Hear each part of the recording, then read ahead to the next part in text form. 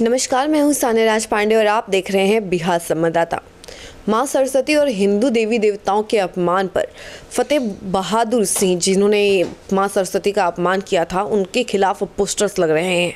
आपको बता दें कि शिव भवानी सेना के राष्ट्रीय अध्यक्ष ने इस पर चुप्पी तोड़ी है। लव कुमार सिंह ने उनके खिलाफ कहा है कि अगर कोई भी इंसान, कोई भी आदमी अगर फतेह बहादुर सिंह का जीप काट कर लाता है तो उसे इनाम में दस लाख रुपए दिए जाएँगे।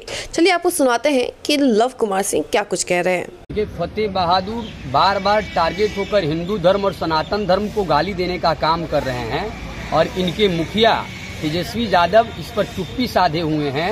ऐसा लग रहा है कि इनके मुखिया तेजस्वी यादव के द्वारा ही फतेह बहादुर जी को बार बार बोला जा रहा है और फतेह बहादुर जी बार बार हिंदू धर्म और सनातन धर्म को अपमान करने का काम कर रहे हैं। हिंदू श्री भवानी सेना फतेह बहादुर जी को जो जीव काट कर लाकर लाएगा उसे हिंदू श्री भवानी सेना दस लाख रुपया इनाम स्वरूप और अभिनंदन करेगी।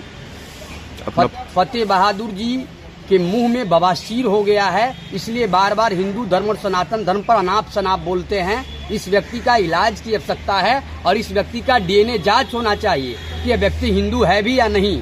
या इस व्यक्ति को कौन विदेशी षड्यंत्र के द्वारा इस व्यक्ति को एक मोटा पैसा आ रहा है और विदेशी षडयंत्र के शिकार हो गए हैं फतेह बहादुर। तो आपने सुना कि लव कुमार सिंह ने क्या कुछ कहा है? किस तरीके से उन्होंने इनाम घोषित किया है कि जो हिंदू देवी देवताओं के खिलाफ बयान देते हैं और हिंदू देवी देवताओं का अपमान करते हैं, उनके खिलाफ उन्होंने कहा है कि उनके जीप काट कर अगर कोई लेकर आता है तो उन्हें दस लाख रुपए इनाम दिया जाएगा।